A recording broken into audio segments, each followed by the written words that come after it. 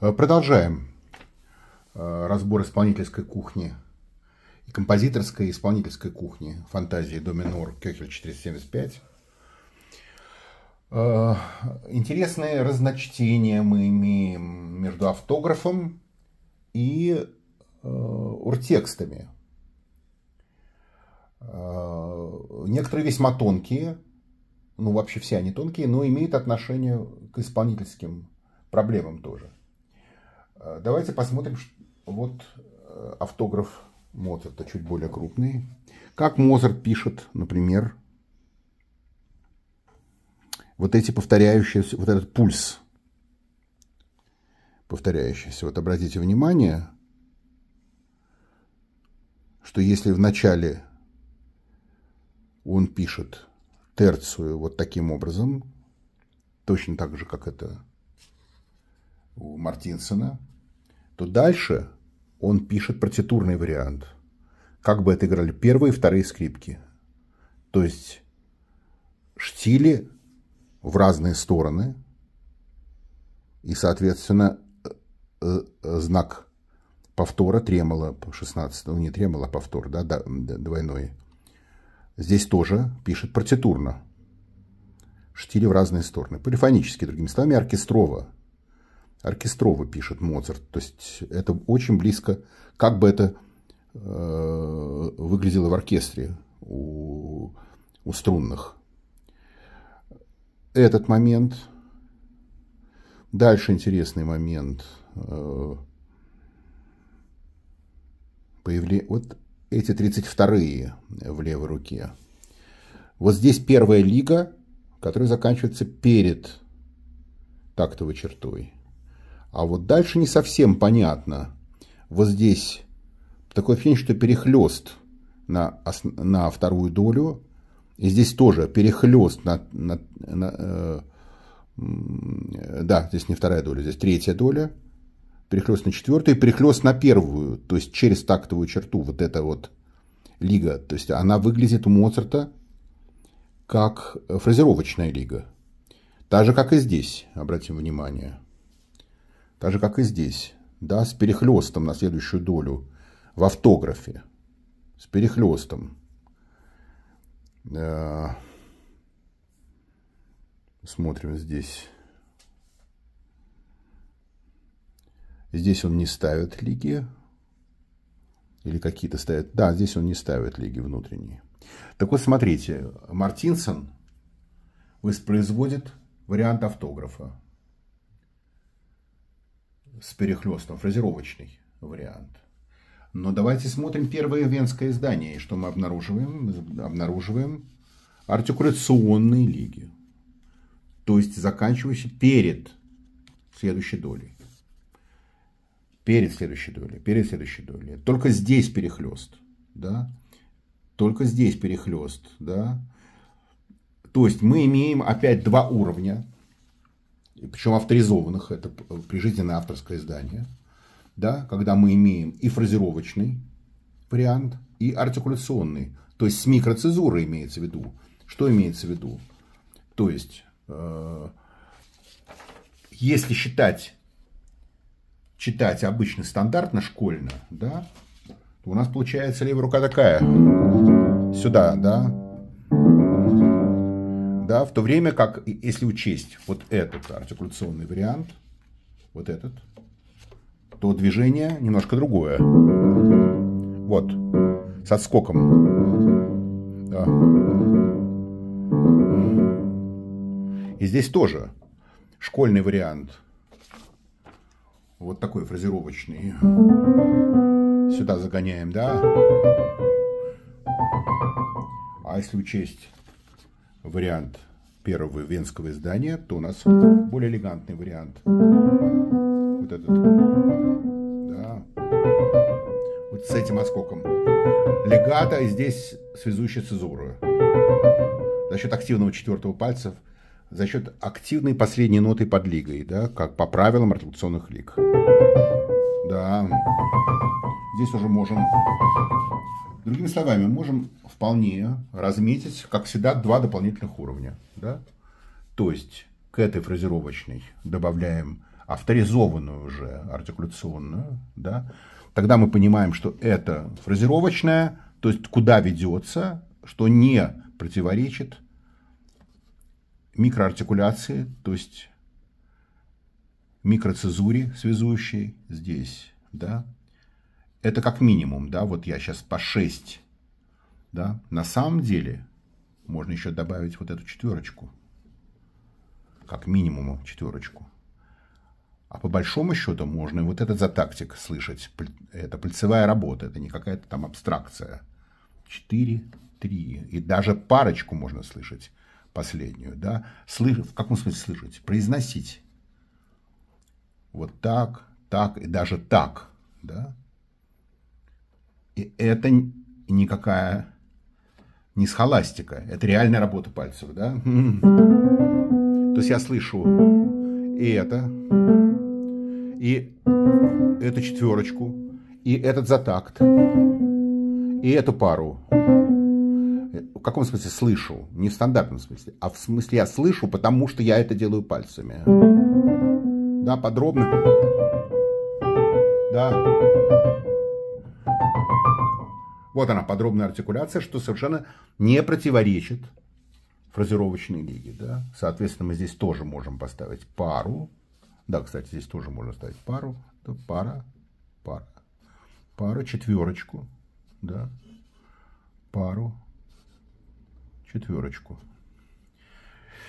И здесь замечательный, конечно, полифонический момент, где нужно слышать все четыре голоса и не мешать. То есть у нас есть длинная соль, которая мы должны слышать на протяжении всего, и которая разрешается, смело ставим эту лигу, фа диез.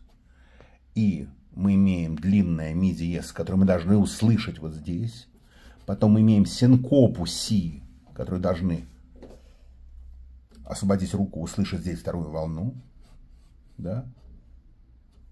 И вот эта э, э, структура э, имитаций да, четырехголосный. То есть мы имеем, если сыграть, э, я играю два крайних голоса.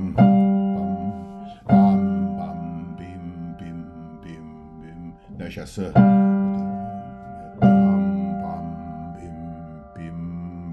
Синкопа и Есть сейчас мы слышим соль, которая решается фа диез, да, и ми диез, которая слышим три, середина такта, слышим ми диез, синкопу, слышим соль, слышим, и вот соль идет сюда, да, корректно. И тогда все остальные голоса мы играем так, да, чтобы не мешать этому голосоведению. Вот, мы здесь слышим всю, всю вертикаль, да. И здесь синкопа. Здесь очень хорошая подтверждающая нотка, да. Вот она подтверждающая.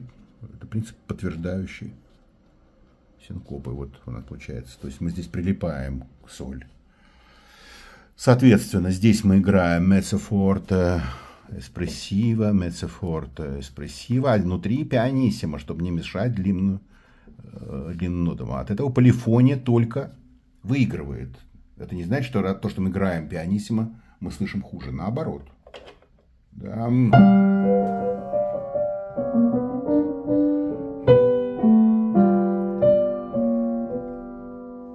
Вот всю полифонию мы услышали, да? И это медиас тоже услышали.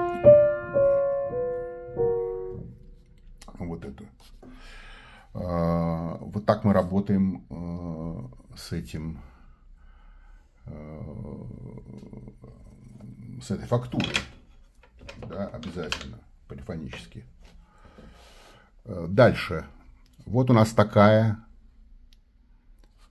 фразировочная лига. Мы знаем уже по сонатам, остальным, остальным уже другим сонатам Моцарта, что мы вполне можем дополнить это вот такой артикуляционной лигой и даже вот этой еще парочкой, да, что тоже облагораживает э, исполнение. У Моцарта вообще здесь нет в автографе никакой лиги. Интересно, что дальше тоже вот этот знаменитый мотив, который часто Моцарт выписывает артикуляционно, и который артикуляционно выписывает и Мартинсон, и Беренрайтер. Вот Беренрайтер, интересно, интересно, что здесь он следует автографу, а здесь он следует первому изданию Беренрайтер, что вполне э, допустимо. Давайте посмотрим, что в первом издании здесь. Да, вот в первом издании появляются артикуляционные лиги, парные по парам, да, артикуляционные лиги. Этой лиги нет, но у нас есть, дело в том, что у нас есть еще издание 1791 года, э, почти прижизненное издание Моцарта, где все эти тонкости э, встречаются. Поэтому мы совершенно не боимся вот этому, этого, да. Как я играю? Лампам пим тададим. Точно, у меня пульсация внутренняя все время 16 кстати. Все время, с самого начала. Здесь нигде она не прекращается. Вот это. Да. Я могу сыграть так. Очень, кстати, играем эти э, артикуляционные лиги замечательные. Э, подыгрываем себе пульсацию внутреннюю. Полезно.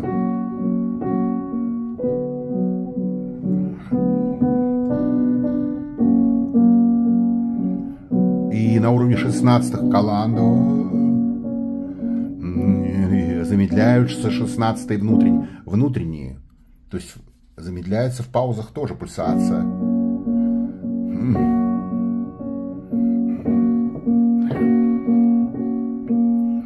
И все это потом во внутреннюю речь обращается, и мы пульсируем уже внутри, да.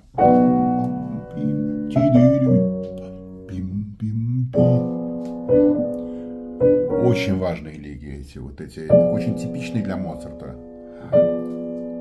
Вот эти. То есть, когда кисть не предшествует движению пальца, а палец, наоборот, выбрасывает кисть в маленьком трамплинчике. Да? Вот это. И когда у нас цезура, вот это, вот это, это те же самые, что в ля минорной сонате, да, и в других сонатах. Да. И в той же самой, в той же самой Эм, ля минорный или в медленной части фа мажорный. Да. Это лиги знаменитые моцартовские. Вот они здесь. Но они впервые появляются в первом венском издании, их нет в автографе. Вероятно, предполага... Э, это само собой предполагалось, что иначе не играется. Пим-пим то это стаката певучая. Вот это эти. Давайте посмотрим, что здесь. Да, стоят, стоят точечки такие, да, но поскольку это струн, струнное звучание должно быть певучей стаката, я предполагаю. Не вот это, было бы странно. Эм,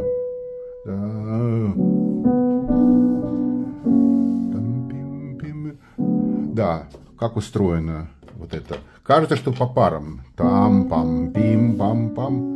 Но на самом деле I love you too. I live, ich liebe dich. То есть ich liebe dich. То есть за такт. И этот, и этот. И этот, и этот, и этот, и этот, да. Как играется октавы. Я играю, отпускаю. Виолончели отпускаю, иду по... Связываю по контрабасам.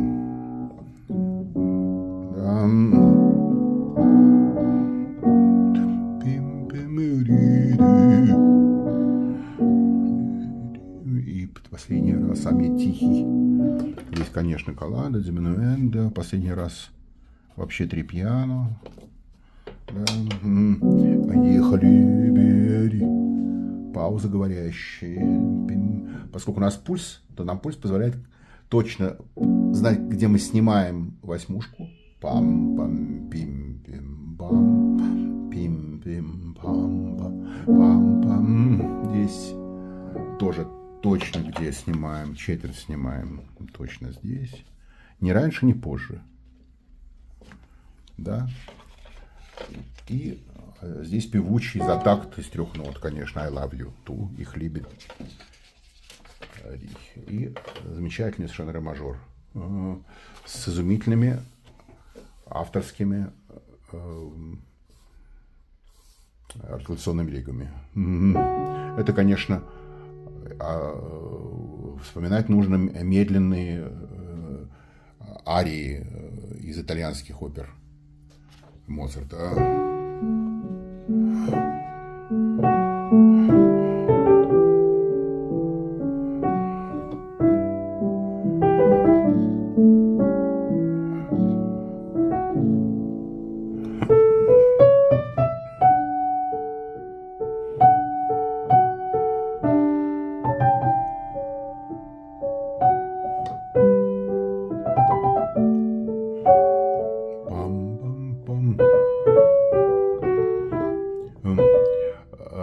Несмотря на то, что перечеркнутый форшлаг, вспоминаем, что у Моцарта перечеркнутый форшлаг э, означает э, форшлаг на время. То есть это 32-е.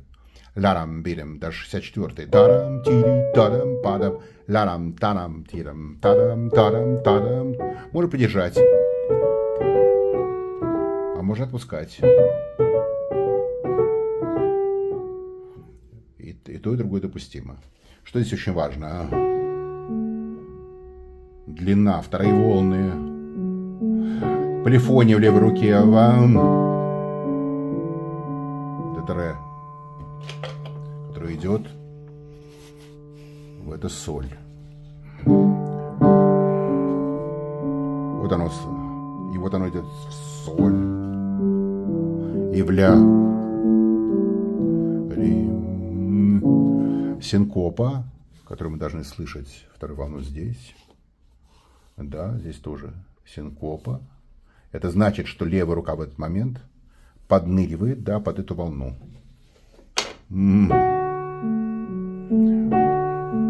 Бас. Поднырнули. Вот. Я поднырнул. И у меня вторая волна есть. Что я использую принцип педали без педали, да, то есть не дают демпферам упасть.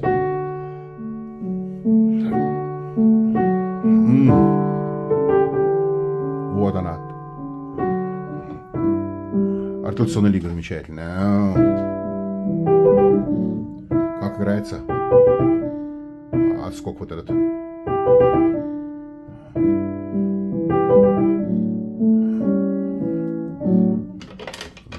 Еще здесь, конечно, вот эту лигу, естественно, вот эту. Тим там Лам, таратам. Вторая шестнадцатый. После этого парочка 64-х. То есть у нас вот такая артикуляционная работа. Там, там, таратим, пам, пам, там, таратим, пам, пип.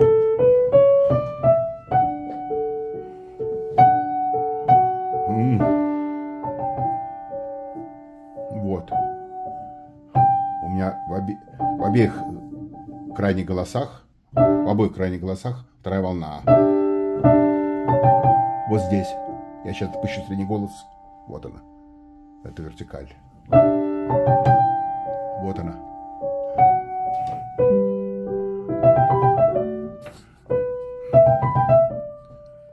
Вот это работа пальца на выходе из артикуляционной лиги.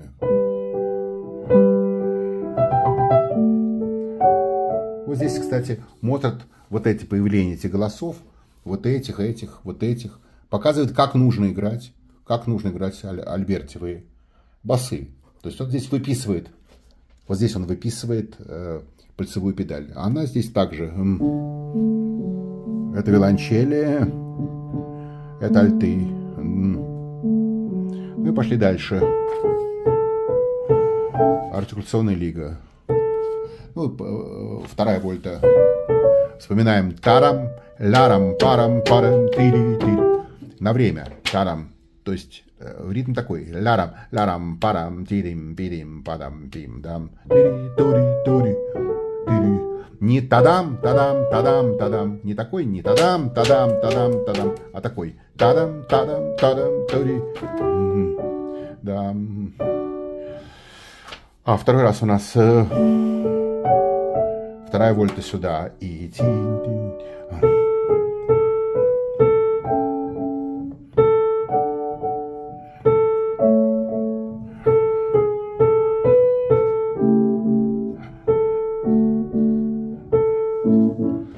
Обязательно здесь с черточкой вот это за так. Тарампам, тарампам, тари. Здесь, конечно, и эта четверочка, и вот это, да, и за это, и вот это. Работа пальцев интонированная.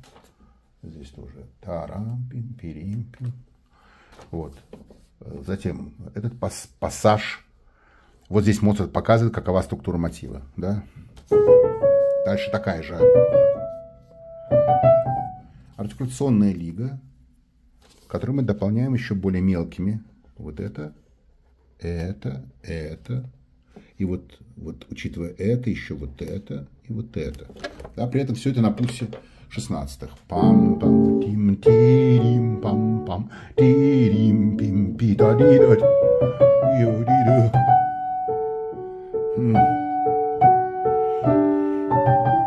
Поднырнули. И принцип шестой ступени всегда при прерванном кадансе, э, при шестой ступени всегда тише. То есть пианиссимо здесь пишем обязательно. Нельзя играть утвердительно такие вещи. Нельзя сыграть так. Нельзя так сыграть. Удивились и еще больше удивились. Вот здесь очевидно вот такая артикуляционная работа. Вот такая. Вот такая микроартикуляция, да. Вот она. Что совершенно не противоречит большой лиге.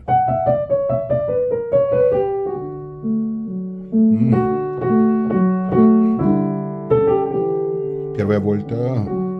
Вот это, конечно, замечательное. Вот это децима, да. Поэтому нельзя не, не, не играть первую вольту. Нельзя сокращать здесь. Особенно с этим, конечно, еще летание такая, да, молитва такая восторженная, благоговейная. Артикуляционная лига, да вот это.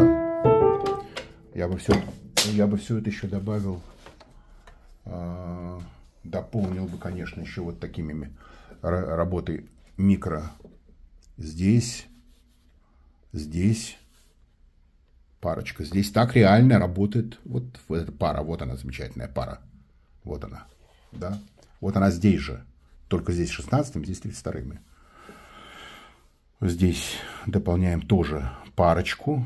Так внутри работаем, да. Здесь троечку.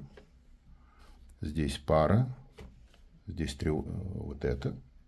И здесь вот интересно, да, что он пишет э, на три нотки парочку, а здесь на две и в, той же, в том самом мотиве мы смело добавляем, да, артикуляционно. Повтор и э, переходим э, на вторую вольту.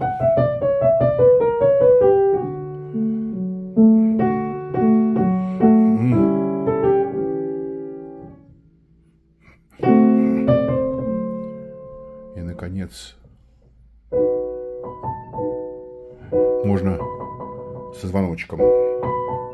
Флейта. Тонкая артикуляция здесь, микроартикуляция. Сейчас. Парочка здесь дополнительная. парочка дополнительная, парочка дополнительная. Как играется левая рука?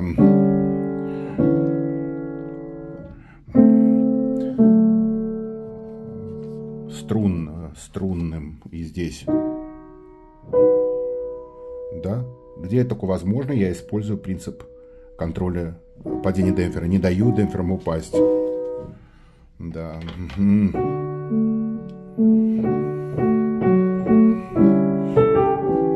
Как бы крещендо. И, и здесь, чтобы для эффекта, пианиссимо. Да, пианиссимо. Фермата. И начинается буря. С артикуляционной лигой. Да.